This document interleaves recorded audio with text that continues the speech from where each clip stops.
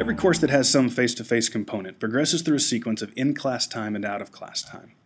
In a traditional lecture-based class, students are typically assigned material to study before coming to class, but then are expected to sit through a presentation that often covers similar content, and then assigned something to do for homework usually on their own.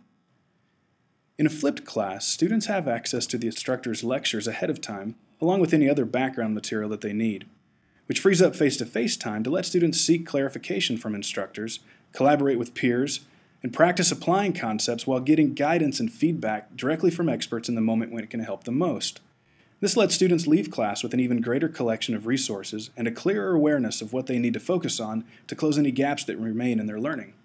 For more information on the flipped classroom and other teaching and learning resources, go to ctl.utexas.edu.